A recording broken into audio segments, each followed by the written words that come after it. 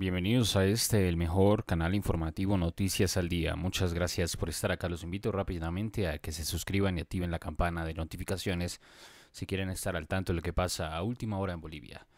Janine Añez suma otra demanda por asumir la presidencia del Senado boliviano en 2019.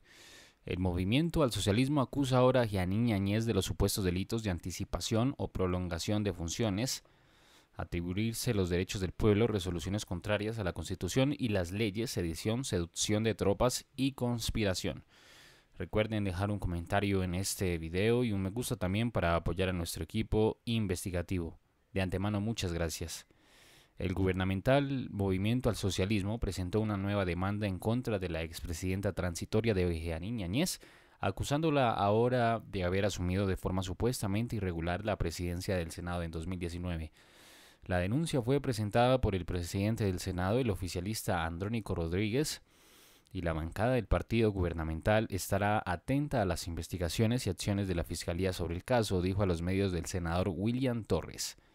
Rodríguez informó en la víspera que hace unos días presentó ante el Ministerio Público una denuncia contra Ñez por haberse eh, sido presidenta del Senado, la Asamblea Legislativa y el país vulnerado, según dijo la Constitución y el reglamento del Senado. Por ello, el MAS la acusa ahora de los supuestos delitos de anticipación o prolongación de funciones. El oficialista sostuvo que lo máximo que Añez debió hacer fue convocar a una sesión parlamentaria para cubrir los vacíos que quedaron en la directiva de la Cámara de Senadores y de esa manera llegar a la sucesión constitucional. Rodríguez sostuvo que es necesario sentar precedente para que esto nunca más suceda.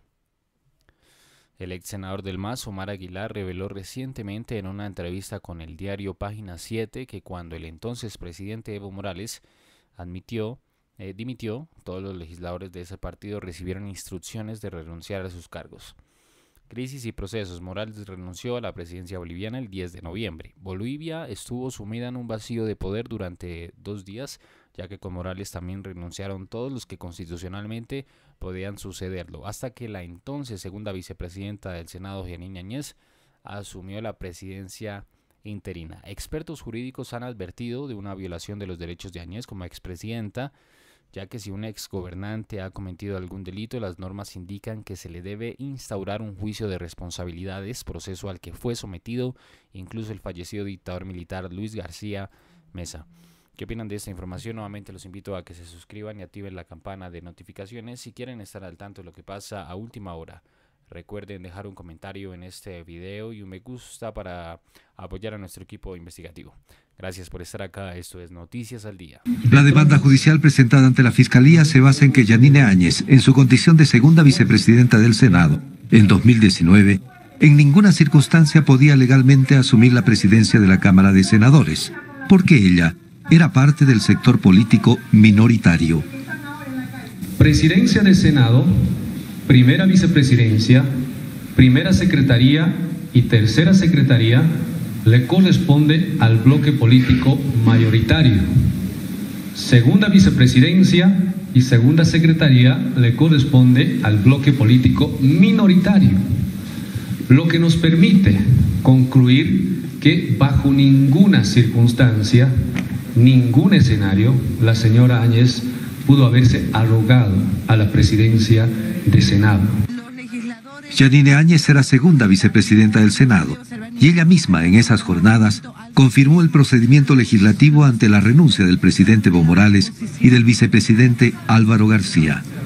Entiendo de que está la convocatoria para los diputados.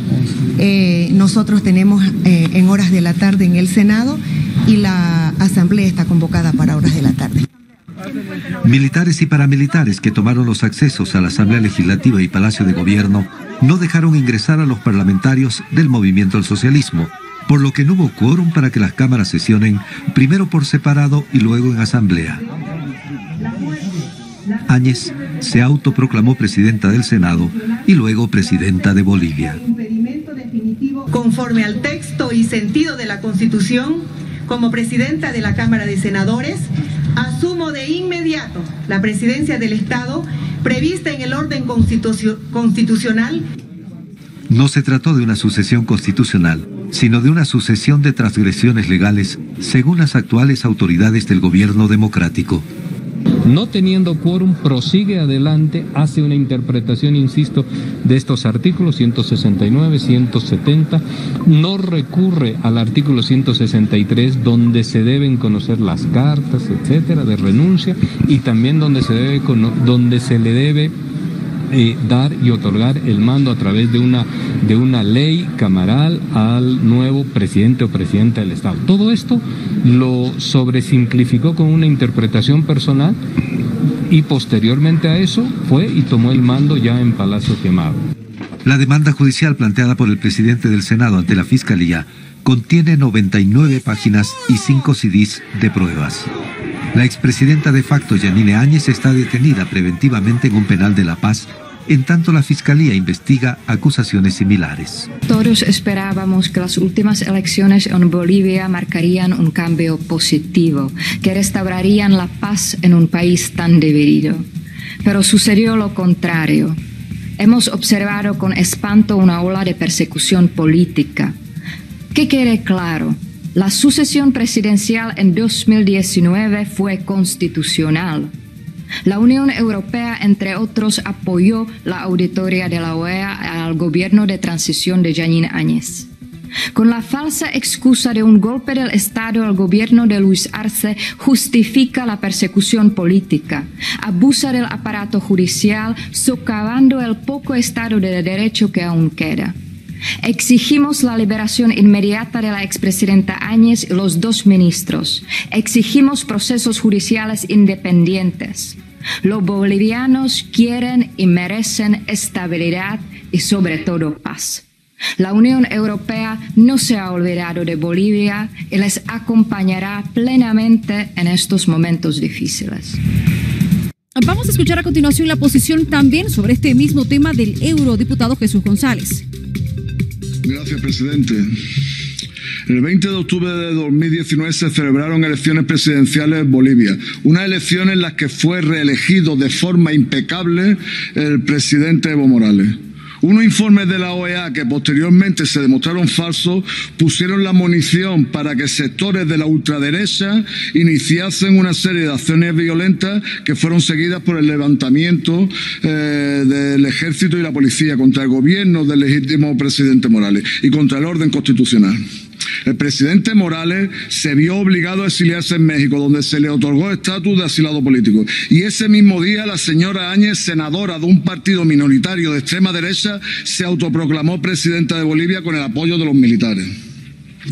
Las semanas posteriores al golpe, al violento golpe de Estado y la autoproclamación de la señora Áñez se caracterizaron por persecuciones violentas, secuestros, palizas, incendios de vivienda de miembros del MAS, de campesinos, de indígenas y defensores de derechos humanos. Muchos de ellos asesinados por militares, policías o bandas fascistas que actuaban con la impunidad que le daba el decreto promulgado por la señora Áñez en el que se eliminaba eh, cualquier tipo de responsabilidad penal de la policía o militar por el trato a los manifestantes. Aquí quiero enviar mi cariño y mi solidaridad a los familiares de las víctimas de Sencata y Sacaba. Honor y gloria. Ahora vienen ustedes a plantear a Áñez como una heroína a la que hay que poner en un pedestal. Están cruzando todos los límites y dejando la imagen de este Parlamento por los suelos. ¿Qué va a ser lo siguiente? ¿Van ustedes a reivindicar a Pinochet y a Videla?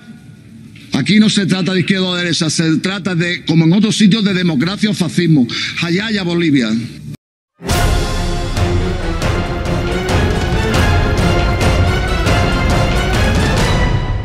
Si no te quieres perder de los últimos acontecimientos que pasan en el mundo, suscríbete y activa la campana. Somos Noticias al Día.